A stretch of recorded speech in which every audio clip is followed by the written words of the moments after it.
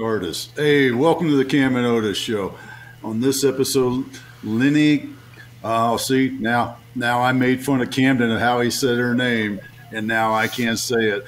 Leni Cavazos, Cavazos, yes, almost. I can tell I, I was at least close where she would raise her hand if we were in the classroom. Uh, Leni, how are you doing today? Oh, I'm doing great. Thank you for having me today at the Tribe and Purpose podcast. I'm so excited uh, to get to spend some time with you. Yeah, yeah. Well, I'm excited too, and and you know, whenever I talk to somebody, and we both know uh, our friend Catherine, uh, Catherine Cantos and and I, I probably it wouldn't surprise me. I probably asked her the same question. He's like, "All right, what do you? Who do you think you are?" Starting a business where people are going to really cool places and getting a lot out of it. I mean, how, how did that? How did you even come up with this idea? I mean, you were working in a big hotel chain when when this came to you, right? Yeah. So I've been on the hospitality world for as long as I can remember. I think I started working in hotels when I was 16 years old. Like wow. my summer works were in there. I had a little bit of a glitch at some point, and I was just like, I'm going to study economics and you know international relations, and I wanted to go into a completely different direction. And one year in, I was like, oh my gosh, this is not for me at all. I need to go back to hotels. So it's all about the service for me at the end of the day and this uh, community that you create with the people for guests of the hotel, but also who, people who work there. Like the work environment is so different uh, in hospitality because it's a very fast-paced environment. People don't get paid so well, uh, and you have to be super extremely nice to everyone all the time. Uh, so you do learn a lot of like being patient and just like smiling and you know being like okay this is good you know like you do have to have a very specific personality to be able to provide service for other people right it's not it's not for everyone because not everyone is prepared to really have this space where um, you can be of service and really like take care of someone else sometimes even before yourself right mm. that's, that's okay you know it tends to go into that direction um, not so many boundaries when you're in the hospitality world, I would say. Uh, so yeah, I was just like I was creating these uh, experiences. I wouldn't call them events, like, and everything that I was creating was all experiential. And then when I was just like, okay, I need to do something that also connects with my spiritual life, where there's not just an experience, but you're also transforming something. You know, you're coming out as a new person. That's when retreat planning all came to life. You know, it was just like I was sitting in a coffee shop with a friend, honestly, and. I was just like, oh, this is what I'm doing. And by then, I already planned quite a few retreats because people were coming to me and be like, hey, would you plan this for me? And I'm like, okay. You know, I was just like going with the flow. But like, if this is what the universe is sending me, why not? Welcome. And then suddenly I was just like, okay, this is what I'm doing for a living, you know. And for me, it's so important to do it for myself, for my clients. But at the same time, I also teach people how to do it for themselves or how to tell an assistant to help them run a retreat just because I know that my impact can be let's I, I have a limited amount of weekends I can work right mm-hmm. so mm. I go through the now the practice of like actually teaching people how they can do this for themselves or if they want to become retreat planners what all the things that they need to do you know it's so important like back in like 30 40 years ago there were not many hospitality schools now it's booming. No one really teaches you how to be an event planner. You learn on the go. The same thing is going to happen with retreat planning. No one is teaching you how to be a retreat planner on the ground and actually having the experience. So it's all about starting creating this new style of hospitality school where you learn how to do things from a place of consciousness. Mm. What was the uh, catalyst that got you wanting to move out of the hospitality towards this? You know, talking about going to study some econ and international affairs, even though that wasn't the direction you wanted to go. There's clearly a reason that you you know made that shift, and then that seems like it led to uh, the retreat planning. Is that right? Yeah. So the retreat planner definitely it still has a lot of my hospitality background and my marketing background and loyalty marketing. Like I bring into my business everything that I learned. I, mm. basically, the thing that happened is like the shape changed. And there was something, yes, that definitely created this change. But it was not really that I did not like my job or I didn't like my boss or I was just like, I'm done with this. It was something I think for me was external that just happened, and I was just like, something. I basically I woke up one day and I'm like, okay, I don't want this job anymore. I'm done with being someone else's employee. And I was back then I was living in Dubai, so I was I had my corporate job that was amazing. It was great and then COVID hit. And I was doing activations for members. You know, I was doing all these crazy events like in the King's Summer Palace in Saudi Arabia and dinners in front of the, the Giza pyramids in Egypt.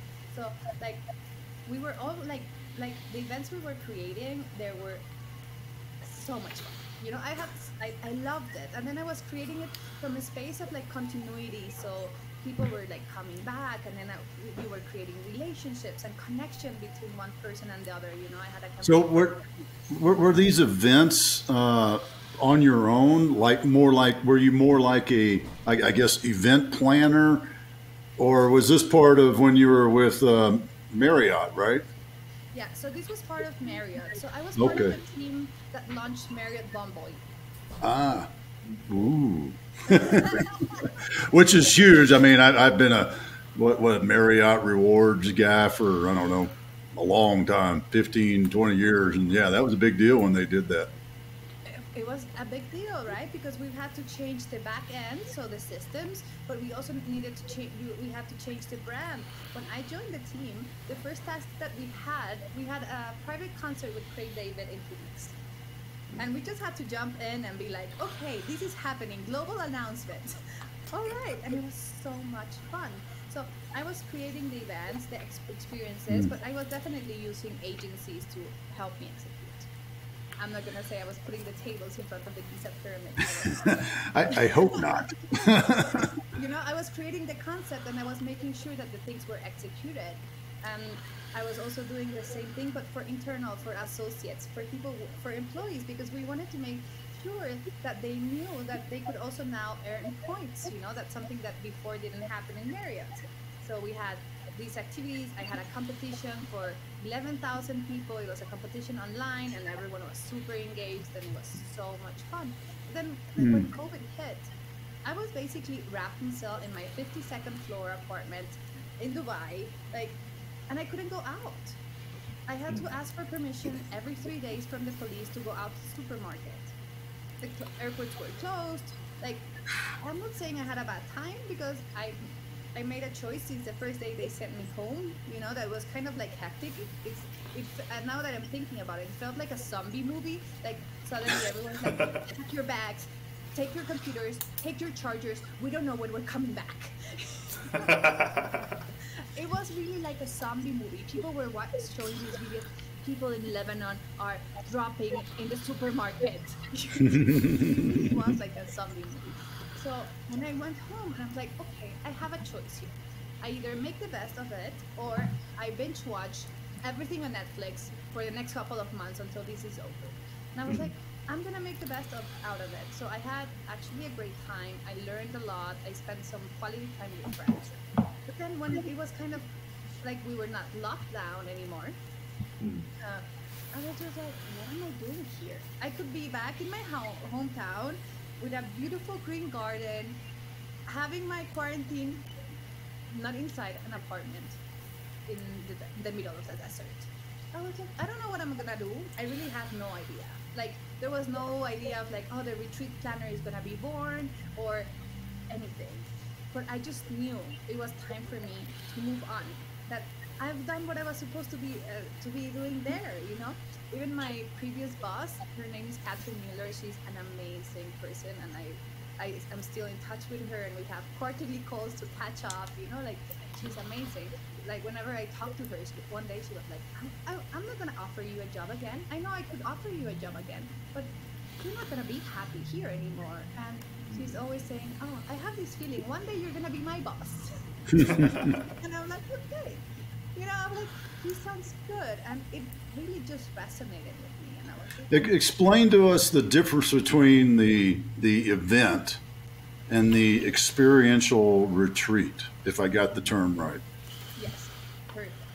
So an event is a it's a, uh, a, a happening basically, right? That it's it has so it has certain pieces. So let's say you have a welcome a drink, you have a dinner reception, then maybe you let's say you have an award ceremony. So you have awards giving, and then you have dessert.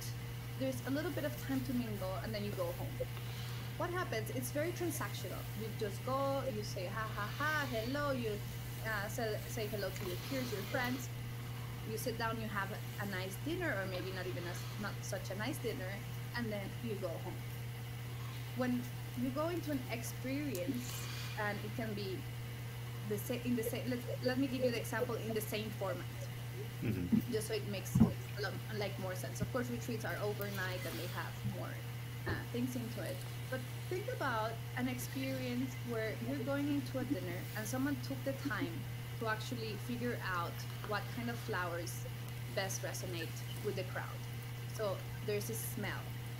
So you're mm. welcomed by the smell of gardenias because we're going into this um, spring event, right? It's a hmm. spring welcoming dinner. So you have you're already connecting with the message of the spring into what you're doing, right?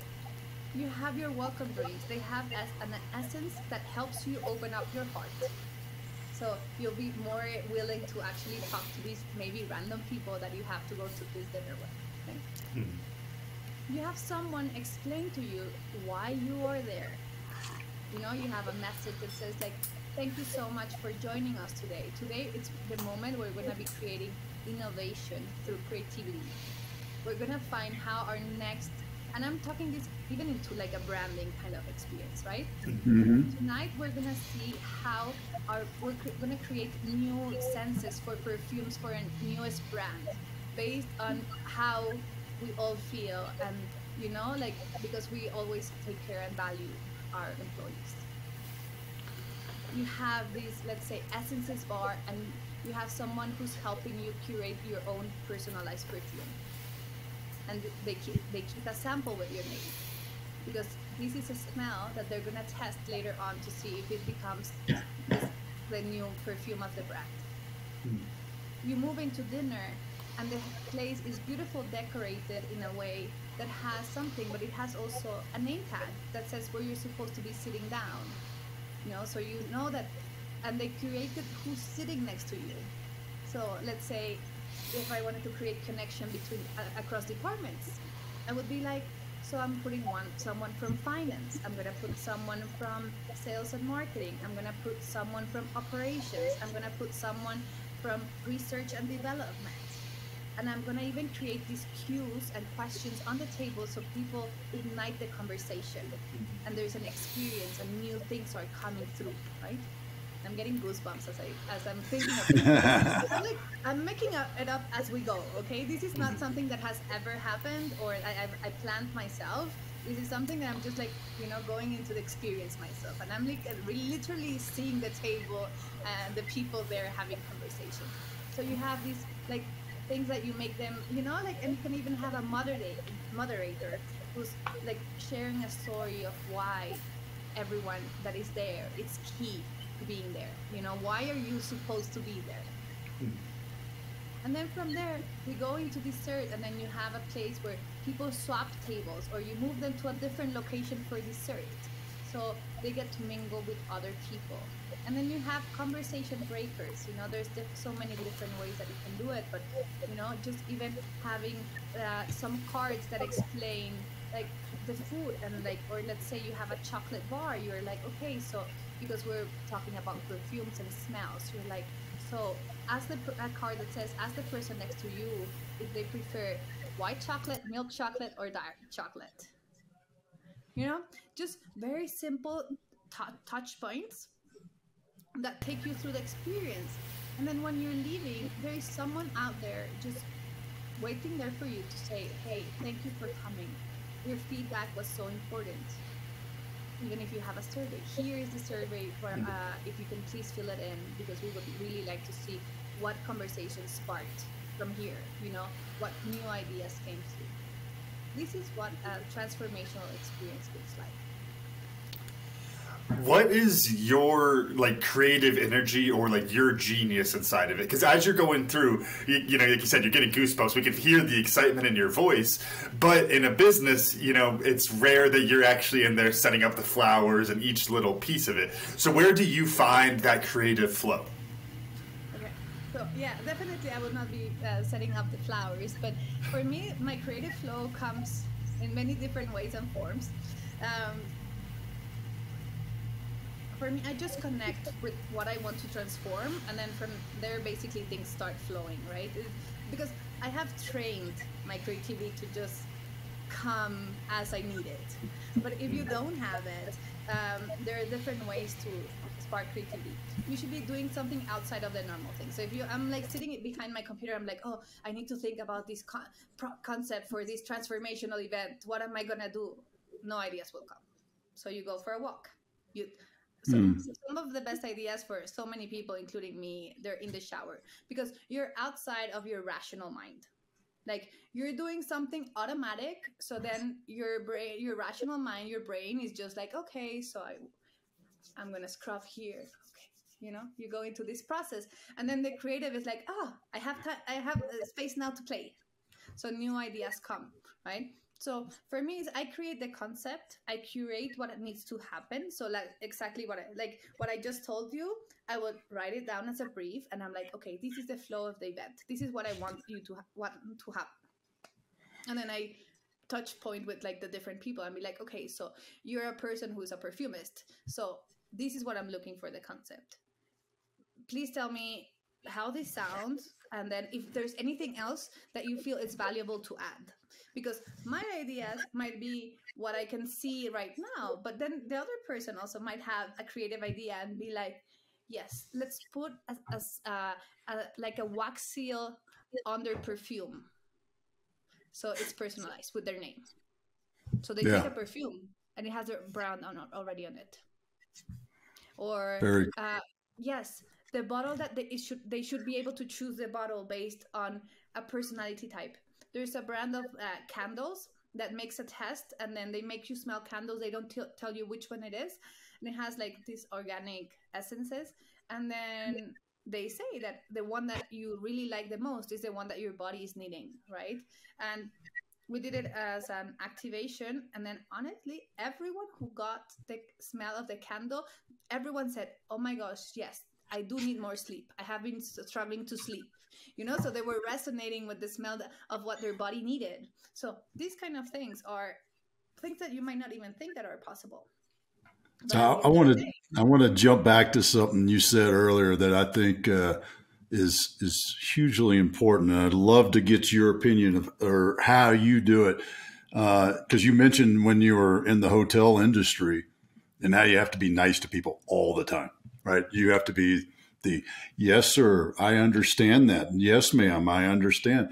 How can I, you know, all those sort of things. That's a great skill set to have. So how when when that person is like, you know, I wanted I wanted uh, you know, I don't know. I wanted two queen beds and you gave me a king and uh and you know, whatever it was. Uh how did you how do you and I'm sure you still do now but what what's the skill set that you do to to handle that when somebody, the person that you're supposed to be serving, is irate, if you will? Yeah. So.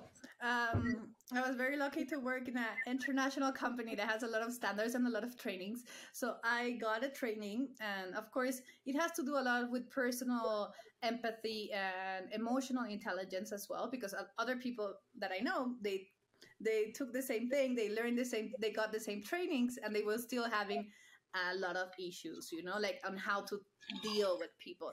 It is very um, high stress high level because the expect it's all about perception and expectations right? So i expect a king size bed and you gave me a, a, a two queens right?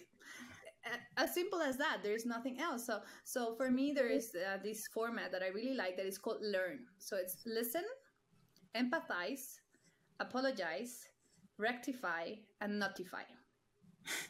so you listen first. So because we are always keen to being like very uh, responsive in life and be like, okay, oh no no no sir, but your booking said it was two queens two queen beds. Instead Mm. of hearing them out, why do they want a king bed? You know, is it because it's like a couple and they want to stay in the same bed? It's a single person and doesn't like to feel that it's an empty room with an empty bed. You know, there's Yeah. so many reasons behind why you chose a king bed rather than a queen size bed. There's other people who doesn't really care if they get a queen or a, a king. You know, like for me, I don't mind if like if they really don't have another. I will ask. You know, hey, so by any chance do you have a king? But if they don't, I will. I'm not gonna make a fuss of it because for me, hmm. it doesn't make such a difference. But for some people, it does.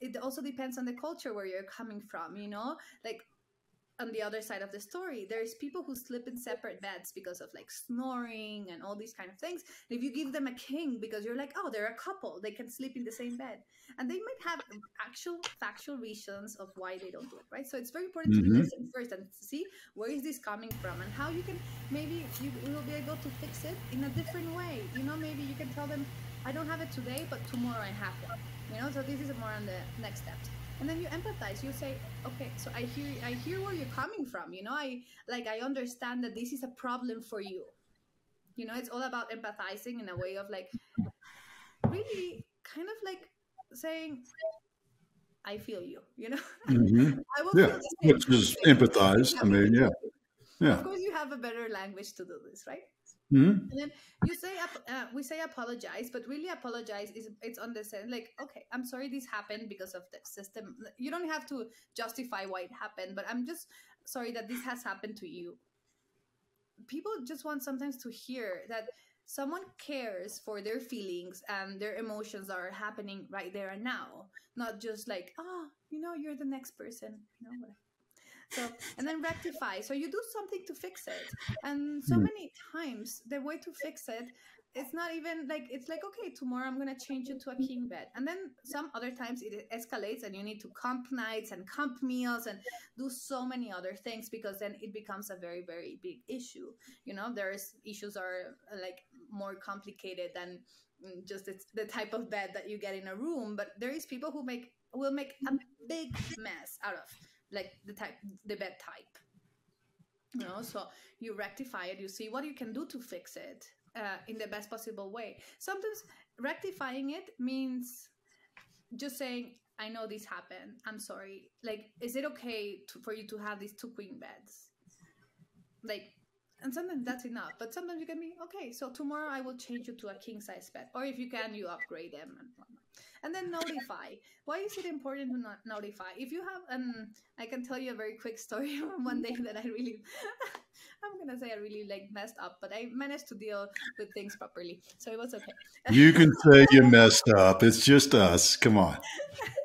so and then you notify so other people know that this person is like already kind of upset and that Mm. this has happened so then no more things happen right so very quick story to like uh, like really see show how this works so one day i was working in a restaurant um and it's a beach restaurant right so I was a hostess there. It was back in the like the, the beginning of my path, and I was just working there, and I loved it. It was so much fun. But sometimes we were so busy, I had to serve tables. I was not just welcoming them and sitting them.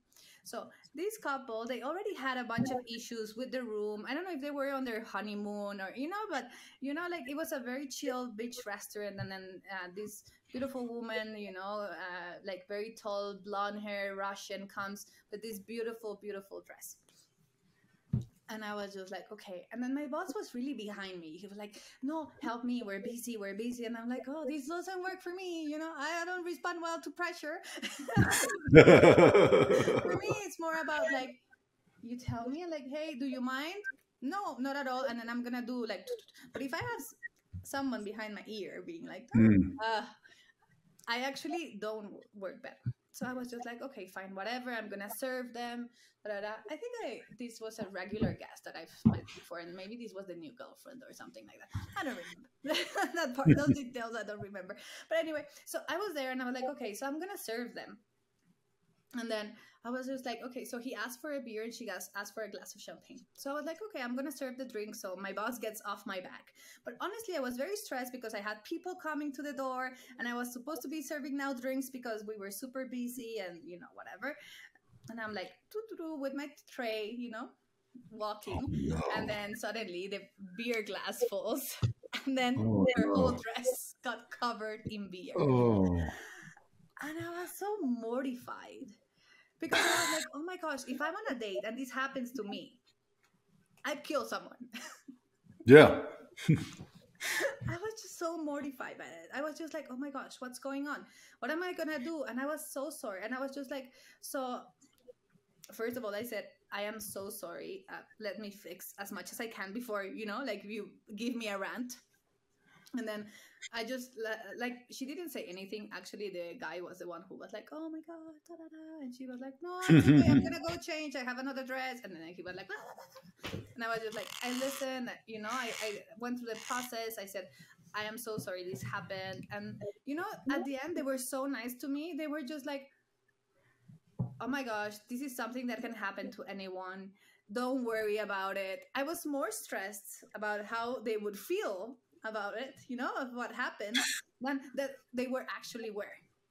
But I went through the process. I was just not like, oh, oh, my gosh, I'm gonna go hide in the back so no one sees me for the rest of the night, and then uh, let's hope they forget about it. And you know, who's gonna forget that someone spilled a beer on top of them? So this is a one of the ways that you can really learn how to, with the word learn, how you can connect mm-hmm. with people in, in, a, in a space of service and like have a, a toolbox basically to help you through this. I think uh, one of the interesting things for you know the hospitality business, you know whether it's retreat or at a hotel, is the like managing of expectations. You know, in the like psychology of it, the marginal loss hurts more than the marginal gain feels good. And I think that's the really interesting thing. Kind of you're talking about like was it their honeymoon? Because if it's their honeymoon, their expectations are so high, and it's all about if they have those high expectations, you have to exceed them, and you know kind of framing the retreats in that way. And and so what I'm curious about is do you do you work to not I almost want to say undersell the retreats so that it always comes in slightly higher where their expectations are being exceeded? Or what does that process look like? Because if they come in with expectations it's a 10 out of 10 then you've got to hit an 11 out of 10 every single time. So do you do something to drop them down to that 9 or or how does that work from your end? Oh no I don't do that. I cannot then, then how do you exceed those expectations still? I just do. I go the extra mile. I just don't tell them exactly what I'm gonna do. I don't disclose how I'm gonna do it. mm. So, like all this part that are like intentional when I like I plan retreats, you know, like these essences in the water to help you have lucid dreaming. Um, like the type of food that is being served. They hear that there is food that's going to be served. They might know it's vegetarian, they might know it's pescatarian. I don't tell them the magic that happens behind. So they know there's going to be transformation. So they know the main transformation that they get, right? So let's say you're going to be going to a meditation retreat where you're going to learn Vedic meditation. So it's like a four day thing, right? So you know that by the end of this retreat, you're going to learn the t- tips and techniques and the mantras for Vedic meditation. And these will help you transform your life in X, Y, Z things that you need, you know, to release stress, to be more happy, whatever. So this is the main transformation that you sell, that you tell people that they're going to get. Everything else that is intentional behind retreat planning stays behind because these are these are extra things that also they should not be knowing about like there like for example for me if i do a menu that is heart opening and heart centered so it has a lot of artichokes and maybe has uh, like if it's a pescatarian it has salmon you know it has certain things that aid you or heart opening you know asparagus and all this kind of food. I don't tell them. Because if you bring it into the mind and this is not really because i cannot exceed their expectations or anything like this if I bring it into their mind instead of their heart, and I tell the mind. So you're gonna get food, so your heart opens. What's gonna do the mind gonna do? It's gonna be thinking, oh my gosh, so my heart should be open by now. How long does it take for the artichoke to? How many? Yeah, how many bites of salmon do I need to have before my heart opens up? exactly. So this is why things are intentional, but it doesn't mean they need to know about them. Does this make sense? Like in a space of like how I don't like it's not that I'm not telling them because I cannot exceed their expectations. It's I don't tell them certain things because it's on a let's let's say it's on, on a need to know basis. Mm. I love that. Um, and, you know, that actually sets up for another question I had, thinking more so again with your story of uh, last week I was getting my tire changed, and I heard every single person complain to the guy at the discount tire about how they had to make it to work. And every single person went, I really got to get to work. I, I, work at nine o'clock. We're here at eight. I, I got to get there. I got to get there. And I think that's the kind of funny thing. So, very different industry, but you talk about hospitality, it's everybody's honeymoon. It's everybody's anniversary. There's always this super high level of uh, I don't know, it's just always a special event. And people want to be treated in that special way, like it's their special event, even though to you, it's normal. And I, am just, I guess, interested in the psychology of how do you approach that of making sure that they're still feeling special? You know even a retreat you get the same type of thing. Everyone's there for their to learn how to meditate and to get that spiritual awakening. Everyone's there for that so they kind of have this sense of importance about themselves that you then have to back up because kind of going back to the expectations if you remove that they're not, they're not special then that kind of is going to hurt their experience a bit. So how, how do you make sure to manage that good question. And I'm gonna talk about like the like this like the normal level that you should have, and then how you can also overdo it because I've seen this happen so much, and not that much in into retreat. Like I've seen it in retreats, but a very very clear um, thing. It's in hotels because you see it like so much because people just tend to be really want to be like 100% or 120% uh, people pleasers and then it's not natural anymore right? So it still needs to be feel very natural. So number one thing that you can do is learn their names you know as basic as that. Just learn their names and have a what i do is i always have like and my clients always have a conversation. Most of my clients they do very deep transformational work. So they say for you to be able to come to my retreat you have to have a session with me before. So you get to know them before they come so that you know what they're struggling with, you know what they're coming to transformate in, in a retreat, right?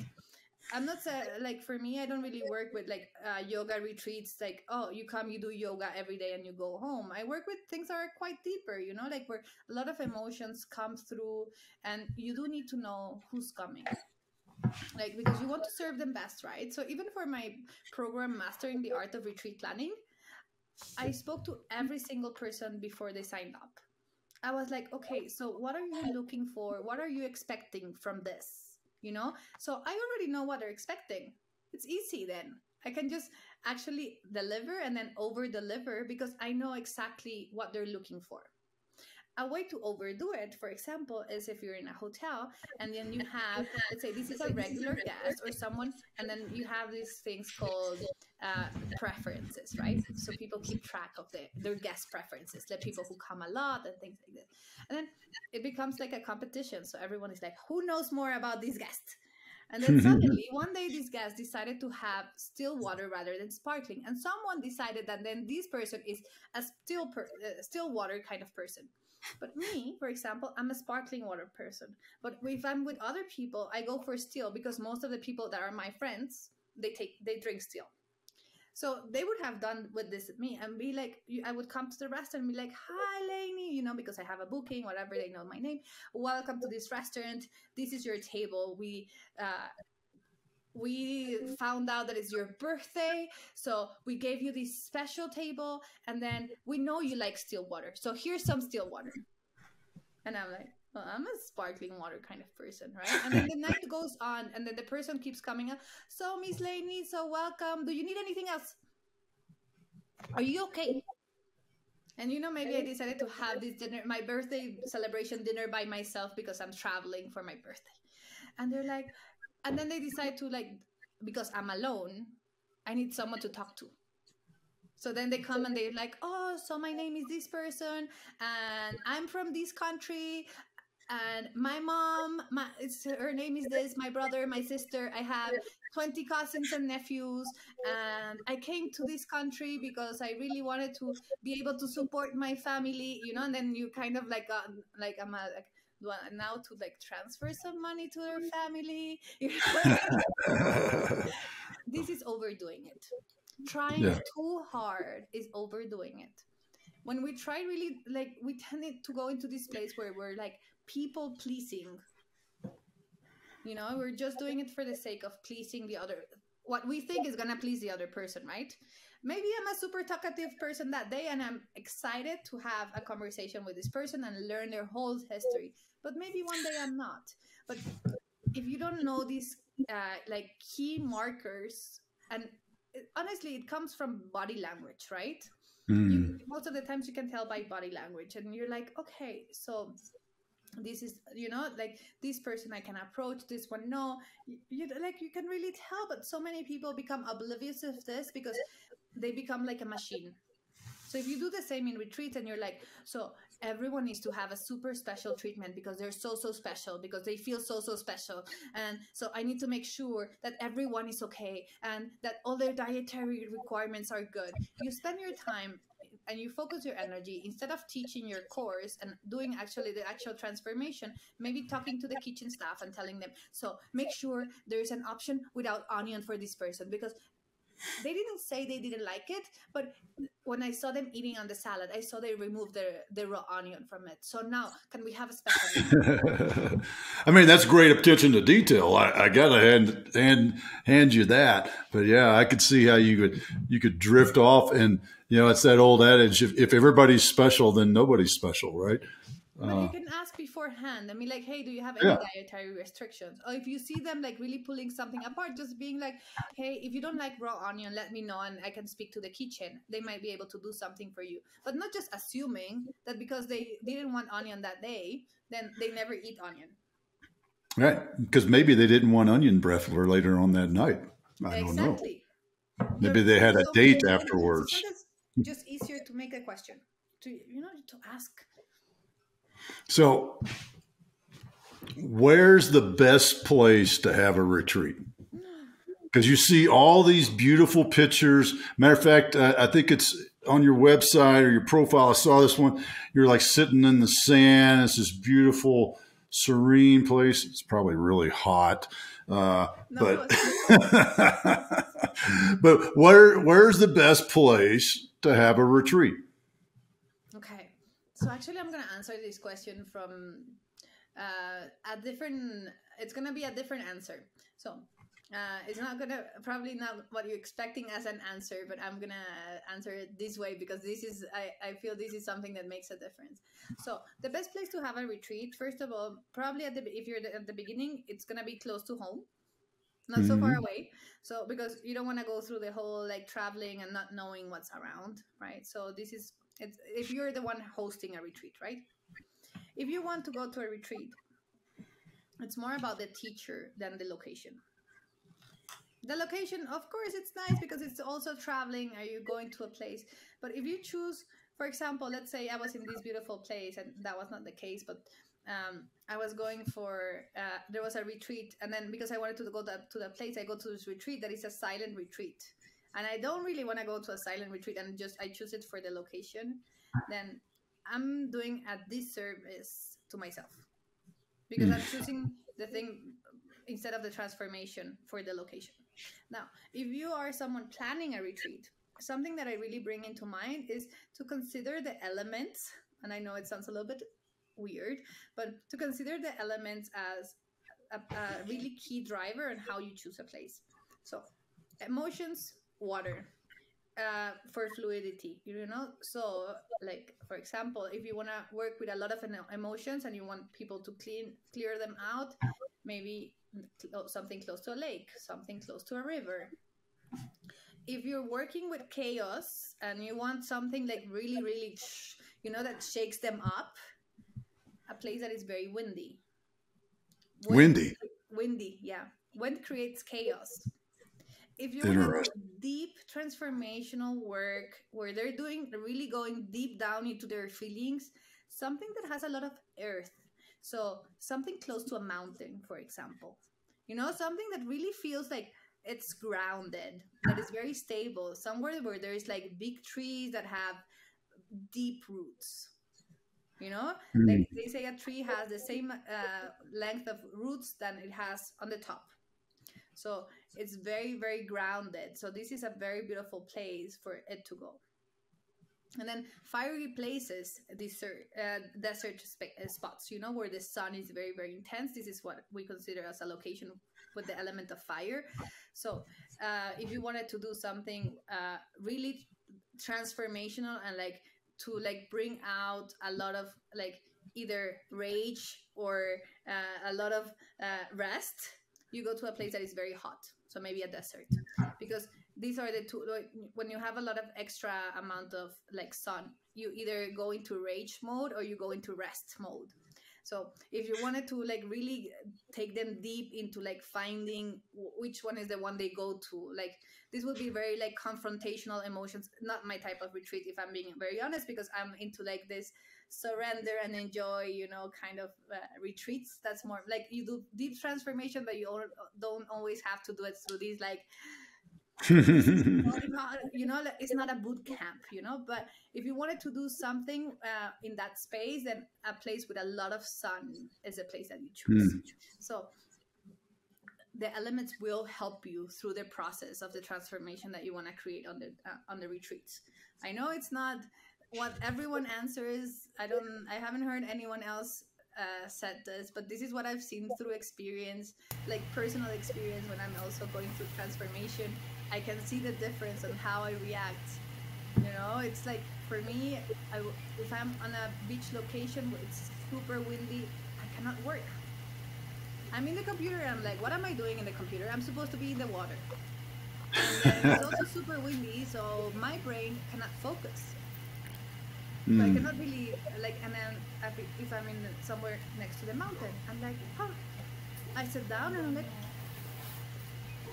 oh, done you know, super simple. Things are uh, they have more longevity when you like, for example, if you're working things where you're in a like in a mountain, fast-paced city, hmm. right? So it makes sense why I'm just so full of rage and resting down here in the desert in Tucson. So that that's eye opening for me. You're either this way or that way, aren't you? I'm just bouncing back and forth, and it's the heat, so that you know that's eye opening. Um, but you know, talking about those elements, it got me thinking. We we've talked about the planning process and so much of the planning and the expectations you know frames the way that the guest has their experience and one of the things i'm really curious about is what i call the water cooler factor. So i had a virtual events company and when we were trying to uh, figure out how to do networking events during covid and one of the things we were talking about is just that random occurrence the chance of the networking events is where is why people are there. We called it the water cooler effect in our team meetings. And those unplanned experiences are what people get the most out of. Uh, you know, thinking back to uh, my honeymoon, actually, we went and did a dinner, uh, surf and turf by the ocean, and did all that. But we were the only ones that booked that time, so we wound up getting the beach to ourselves. There was, you know, there were three other tables. They took them away. It was just us. We got dance on the beach. There was a guy with a violin. It, it was all amazing, but that was completely unplanned. That was all extra on what we had already there. Um, how do you factor in? those unplanned experiences and try to not necessarily plan them, but leave room for the unplanned to take place. Okay, yeah, I have a very, uh, I definitely can answer to that. And yeah, sometimes these uh, wow factors, you know, the surprise factors are amazing. And that's what really actually creates sometimes most of the transformation. So when it comes to retreats, so, uh, so many times, this is really the thing that triggers uh, the change. So for example like you could go and have very very deep transformation and then that you know like you, you're like and maybe it hasn't synced in and you're just going through this process of like releasing let's say family trauma right? And then suddenly you have free time and it's like pool time you have the pool right there and then you go into the water and then it hits you. You're like oh my gosh i just released all this you know? I'm not so angry anymore. What happened? This time, I call it integration time, right? So for me, when you're planning a retreat, you have to have a balance of transformational time and integration time. So this balance is very important. integration time can include a few activities. It can be a sound healing, it can be a massage, but you have to leave space for things to happen. There was um, uh, a retreat that was about lucid dreaming and meditation.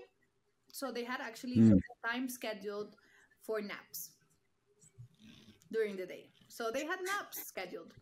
It worked out because they had this time for them to go and practice their teachings but it it wasn't like practice your teaching with everyone around it was like okay so now it's nap time if you don't want to sleep don't go but you know but you have this time for yourself to practice the learnings so integration time is so important because this is where all these unexpected surprises happen. You can have a conversation with someone, you know, or suddenly um, I'm the type of person who's like, okay, so we have this time and we're just like, you know, like people go and then, you know, you're in the garden, you're doing whatever you're doing. And then suddenly it's like, huh, I'm going to share some, some chocolate. As simple as that and I bring out the bar of chocolate because I always have like some chocolate with me in the, in retreats because are, are you are you like a uh, closet grandma? You always have chocolate with you? uh, that much chocolate. I'm more of like sadly I'm more of a chips person, but um, like, cacao has this beautiful effect on our nervous system. It balances it out. Mm-hmm. So my brother says if you're happy, drink cacao. If you're sad, drink cacao. it does have the theobromine that really like balances your nervous system. Mm-hmm. So people think, oh, I drink cacao, I'm not gonna be able to sleep. But the other, it's actually the other way around because it just brings you back into balance. So when you're going through transformation, your nervous system goes out of balance because it's not it doesn't know what's going on it's like oh my god what are you doing to me right now right and sometimes just bringing out some cacao and just like sharing it with people or making a smoothie and being like hey who wants some um, is this space basically what you're creating is a space for connection. That's awesome. Man well uh, i'm going to make me a cacao drink when we uh, when we get done here in just a second so i can so i can continue to be happy. This is uh, this has been awesome and i tell you what uh, i I relearned or reemphasized something that uh, is such a fundamental, basic thing, and that's just knowing the person's name. It's it's so foundational, and it gets so wiped away that it makes a huge difference. You know, it's it's that greeting. Hi, Lenny. Hi, Miss Cavazos. Did I say it? I said it wrong again, probably. Uh, I told you I'd mess that up as soon as, as soon as I make fun of Camden. I do this every time. But you know, it's it's but that's that simplicity that makes it personal, because now now I know there's a connection between myself and the luggage guy, the the, the porter, the doorman, the the hostess, whatever. They know me, and that means that they actually treat me like a person instead of a number, and that's a huge thing in any business. So that that was a great reemphasis for me to relearn that. How about you, Camden? What'd you learn? Uh, I'm curious as to what a porter actually is because I thought that was somebody who worked on a train. I don't know if they have those anymore. I'm just picturing the Johnny Cash song "Hey Porter," but I don't know if that's actually true or not. um, but no, what I learned uh, was, and I already said this one, but it's with talking about those elements, and a lot of them are really intuitive, and it was interesting to hear the elements of the desert. You know, since I lived here and how uh, what the how the heat can affect you with that rage or rest. Which really, the more I think about it, the more it makes sense. You know, when it's summer here, things slow down. We're just like all the animals. We stop moving. Everyone just sleeps all day. So that that's an awesome thing. And yeah, weirdly eye opening considering how I've lived here for going on eight years now. Lenny, how about you? What did you learn? I'm glad I could be of service, and now that you can see it, you can be like, okay, maybe I'm spending the summer somewhere else if I want to be productive or you know sometimes just being yeah. aware of it it just makes such a difference because you also become more compassionate right about mm-hmm. uh, about what you're doing and sorry i haven't said what i learned i will go, go to that but you become more compassionate you're like it's okay to have a nap yeah you know like I think it's, uh, it's very important for all of us to be more compassionate about our needs of course, mm-hmm. you don't become someone who's like taking a five hour nap every afternoon because it's super hot. but it's just more about like, okay, so I understand what's going on and what my body needs, right? And and then we bring this in, information into our everyday life, right? Mm-hmm. So, now, for me, I think uh, something I learned that I found very interesting is this the like this term of like the water cooler effect, because and for me also like and this is connected to the point of like uh, really kind of bringing this very concept of like the unexpected, like the unplanned kind of like not really the unexpected but more like the unplanned part of uh, when mm. you're doing things. I do it do it so intuitively now that it's like for you know for me it's just like part of the flow. Like when i was taking you through this experience i was just like i was there. You know I, I went to the event like i already experienced it. It was like it was amazing by the way. And um and i hope some people who are listening to us will get to like close their eyes and be like oh my gosh yes i can smell the genius right but yeah.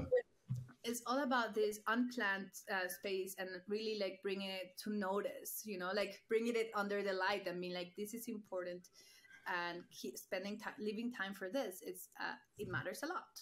It just makes a oh, difference. oh, that's awesome. How, how do folks uh, find you? What's what's a good way to get in contact with you follow you?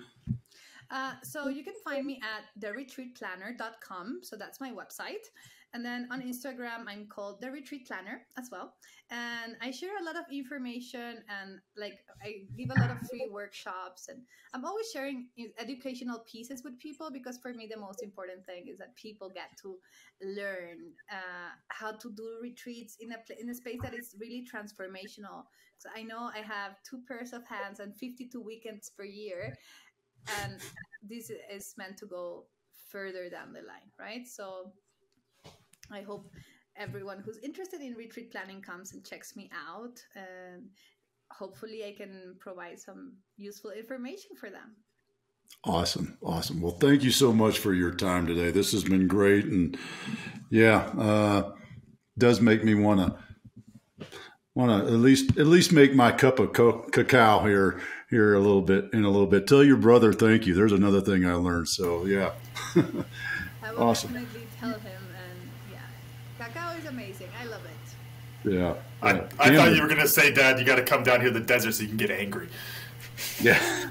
No, I don't need heat to get angry. Camden, run us out. All right. Thank y'all for listening to the Cam and Otis Show. And a special thanks to our guest, Lenny Cavazos, for joining us today.